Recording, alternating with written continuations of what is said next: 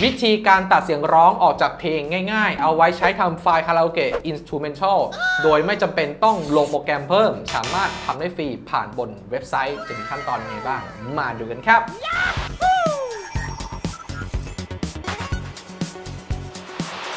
คอมครับทำเรื่องคอมให้เป็นเรื่องง่าย สวัสดีครับ ผมบอลคอมครับนะครับ คลิปนี้ไอ้บอลก็จะสอนวิธีการตัดเสียงร้องออกจากเพลงง่ายๆ ผ่านตัวเว็บไซต์ vocalremover.org นะผมเดี๋ยวบอลจะทิ้งลิงก์ไว้ให้ที่ใต้ description นะผมซึ่งตัวเว็บไซต์นี้เนี่ยบอกเลยว่ามีลูกเล่นต่างๆ เยอะแยะมากมายเลยนะครับแล้วบอกเลยว่ามันตัดเสียงเนี่ยเนียนสุดๆด้วยผมใช้ได้แบบ 80 เกือบ 90%กันเลยนะอะเดี๋ยวไปดูวิธีการใช้งานกันเลยดีกว่าครับ หลังจากที่เราเข้ามาเว็บไซต์นะครับผมหน้าแรกของเขาก็จะเป็นประมาณนี้นะครับทางด้านซ้ายมือเนี่ยก็จะมีตัวฟีเจอร์ต่างๆนะครับผมอันแรกก็คือการลบเสียงร้องนะครับผมก็คือตัว vocal remover นั่นเองนะครับเดี๋ยวบอลจะลองทดสอบให้ดูนะครับผมกดที่ bounce my file นะครับก็คือหาไฟล์พวกเพลงที่อยู่ในเครื่องเนี่ยเอามาตัดเสียงร้องนะครับผมบอลขอยกตัวอย่างเพลงนี้แล้วกันนะอะอันนี้คืออัปโหลดไปแล้วก็รอมาประมวลผลสักครู่หนึ่ง ซึ่งระยะการโปรเซสของมันนี่ก็ขึ้นอยู่กับขนาดไฟล์เพลงของเพื่อนๆด้วยนะ ยิ่งเพลงแบบไฟล์เยอะๆ ยาวๆเนี่ยก็จะใช้เวลานานสักหน่อย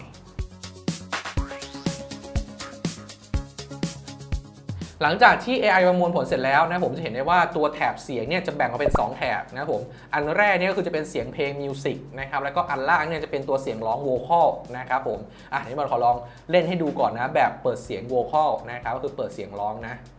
เสียงร้องมันจะประมาณนี้อะ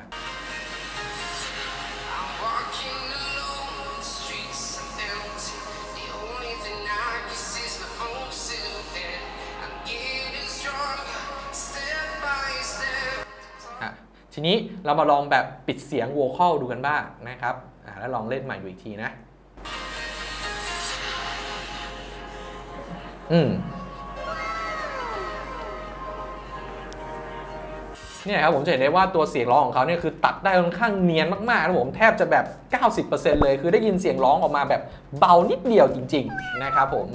แล้วก็ถ้าหากถ้าเราจะกดเซฟเพลงนี้นะผมก็สามารถเลือก save เพลงที่ตัดเสียงโวคอได้ทางด้านขวามือตรงนี้นะครับผมก็คือสามารถเลือก format ได้ด้วยนะจะเป็นแบบ MP3 หรือว่าตระกูลแบบ WAV นะครับผมนี่มันขอเลือกเป็น MP3 แล้วกัน แล้วก็กด save ไปดาวน์โหลดเฉพาะ music ด้านบนนะครับผมอะอันนี้คือได้ไฟล์เพลงมาแล้วนะผมเดี๋ยวเราจะลองเปิดดูนะว่าเสียงเนี่ยมันโดนตัดจริงหรือเปล่านะครับผมอันนี้ก็คือตัวไฟล์ที่ดาวน์โหลดมาเลยนะ ลองกรอไปดูครับ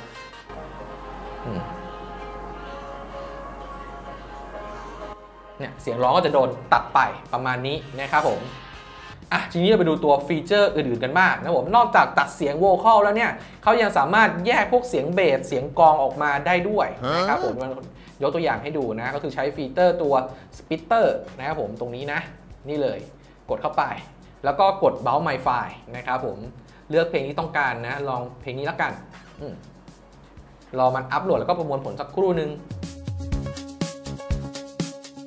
อะอันนี้คือ AI ประมวลผลเสร็จเรียบร้อยแล้วนะผมจะเห็นได้ว่าตัว timeline ของเขาเนี่ยจะแบ่งออกเป็น 4 อันด้วยกันนะครับผมก็คือเป็น Music Vocal Bass แล้วก็ Drum นะครับผมพี่วันขอลอง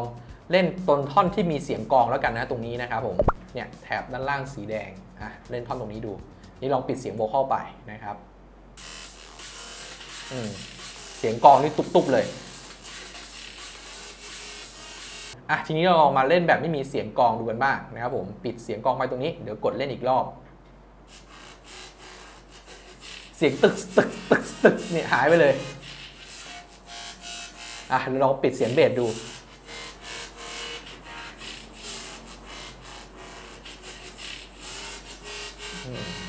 อันนี้คือเปิดเสียงกลองกลับมาคืนแล้วนะครับ ก็ประมาณนี้แล้วกันผมสำหรับตัว feature splitter นะ ทีนี้มาดูตรงหัวข้อ pitcher กันบ้างนะผมจะเป็นการเพิ่มจังหวะหรือว่าลดจังหวะเพลงนะครับผม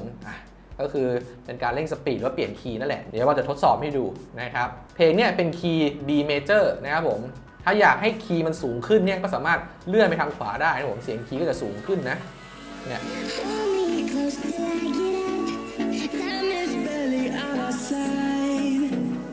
ลองคีย์ต่ำดูครับ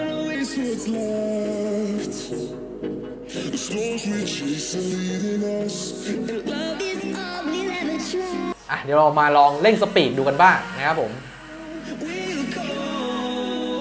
through the wastelands, through the highways, till my shadow turns to sun rays. ลด speed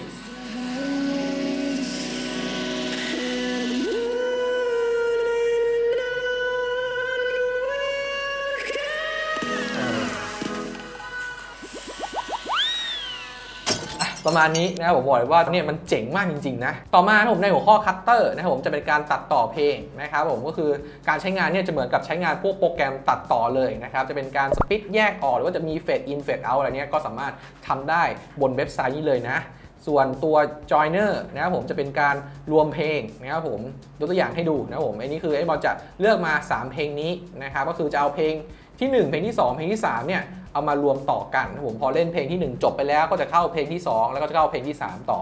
นะแล้วก็เราสามารถเลือก fade in fade out ได้ผมจะลดระดับเสียงยังไงนะเนี่ยตรงนี้นะผมเพิ่มขึ้นเพิ่มลง อันนี้คือรอมันอัปโหลดสักครู่ มีสลับได้ด้วยผมจะเอาเพลงไหนขึ้นก่อนนะอืมอืมสลับเพลงเอาขึ้นเอาลงนะผมเฟดอินเฟดเอาได้หมดเลยประมาณนี้ แล้วก็ในหัวข้อขัดมานะผมตัว Recorder เนี่ยจะเป็นการอัดเสียงจากไมโครโฟนนะครับผมในที่นี้คือมันจะใช้ไมค์ในโน้ตบุ๊กของแอดมินบอลนี่แหละนะมันถามว่าจะให้ใช้ไมค์หรือเปล่าก็กด allow ไปนะครับผมพอกดปุ๊บเนี่ยก็จะเป็นการอัดเสียงนะครับ ทดสอบ 1 2 3 4 5 6 7 8 9 10 1 2 3 4 5 6 7 9 10 ประมาณนี้อะเดี๋ยวเราลองเปิดให้ฟังนะว่าเสียงเนี่ยที่อัดเป็นยังไงอะในหน้าเสียงที่อัดเนี้ก็จะมีการปรับแต่งลูกเล่นปรับ reverb ปรับอีควอไลเซอร์ปรับเอ็กโคอะไรได้ด้วยนะครับ อะเดี๋ยวบอกเขาเปิดเสียงให้ดู การอัดเสียงนะครับ ทดสอบ 1 2 3 4 5 6 7 8 9 10 1 2 3 4 5 7 9 10ประมาณนี้ทดสอบ 1 2 3 4 5 6 7 8 9 10 1 2 3 4 5 7 9 10ประมาณนี้ เดี๋ยวลองแบบเพิ่มเสียงแหลมดูไอ้มอนเสียงแหลมปี๊ดเพิ่ม reverb ไปด้วยสุดเลย การอัดเสียงนะครับทดสอบ 1 2 3 4 5 6 7 8 9 10 1 2 3 4 5 7 9 10ประมาณนี้นะถัดมานะครับ หัวข้อคาราโอเกะเนี่ยจะเป็นการอัดเสียงของเราเนี่ยลงไปในไฟล์เพลงที่เราต้องการนะครับผมนี่เอ็มบอลขอข้ามไป ก็อันสุดท้ายผมตัวคีย์ BPM Finder เนี่ยจะเป็นการหา key ของเพลงนั้นๆนะครับผมจะขอยกตัวอย่างให้ดูนะอะลองอัปโหลดไฟล์นี้ไปนะผม ตัวโปรแกรมเนี่ยจะบอกเลยว่าเพลงนี้เนี่ยมีคีย์เป็นอะไรนะผมเป็น e b a t minor BPM ความเร็ว 172 อะไรประมาณนี้นะ ไว้สำหรับนักร้องเราจะไปร้องเพลงในต่างๆ ก็มาดูค่าโปรแกรมเหล่านี้ได้ แล้วก็ในการใช้งานนะผมต้องบอกก่อนว่าในตัวเว็บไซต์ vocalremover.org นี้เนี่ยถ้าเราจะดาวน์โหลดไฟล์มาที่หลังจากที่แอมไปเสร็จแล้วเนี่ยตัวเว็บจะสามารถให้เราโหลดได้วันละหนึ่งไฟล์ฟรีๆนะผมถ้าเราอยากจะโหลดมากกว่า 1 ไฟล์เนี่ยจำเป็นต้อง โดเนทเพิ่มนะครับผมมันจะตัวอย่างให้ดูนะตะกี้มันก็โหลดไปแล้ว 1 เพลงนะครับผม อันนี้คือพอจะทำอีกรอบนะผมจะขึ้นว่า please try again later or become a Patreon นะครับผมก็คือต้องไป donate อุปถัมภ์เขาหน่อยนะครับผมซึ่งหลักการ donate ของเขานี่ก็ไม่ได้แพงอะไรมากนะครับก็คือตกเดือนละ 5 เหรียญเท่านั้นนะครับผมตะกี้มันมีขึ้นมาด้วยว่าคือเขามีค่าเช่าเซิร์ฟเวอร์นะครับผมเดือนละ 1,500 เหรียญนะก็คือแบบสนับสนุนเข้าไป นะครับ มันเดี๋ยวตัวอย่างให้ดูนะ ลองล็อกอินไปก่อน ซึ่งถ้าเพื่อนคนไหนผมที่อยากจะสนับสนุนเขาหรือว่าอยากอยากจะโหลดหลายไฟล์มากกว่านี้ใช้งานเป็นประจำเนี่ยก็ไปโดเนทให้เขาได้ผมแค่ 5 เหรียญเท่านั้นเองนะหรือแค่เวลาแบบประมาณ 200 บาทนะครับผมก็ประมาณนี้แล้วกันนะผมสำหรับทริคชิคในการตัดเสียงร้องออกจากเพลงแบบง่ายๆนะครับหวังว่าคลิปนี้จะเป็นประโยชน์กับเพื่อนๆนะครับผมแล้วก็ถ้าหากเพื่อนๆคนไหนมีคำถาม หรือว่าสงสัยอะไรเพิ่มเติมยังไง อยากให้พี่บอลแนะนำทริคๆอะไรเนี่ยก็สามารถมาคอมเมนต์ที่ด้านล่างใต้คลิปนี้กันได้เลยนะครับสำหรับคลิปนี้เองไอ้บอลก็ขอตัวลาไปก่อนละกัน เจอกันใหม่คลิปหน้า สวัสดีครับผม บ๊ายบาย อย่าลืมฝากกดไลค์ กดแชร์กับช่อง channel คอมคาร์ด้วยนะครับ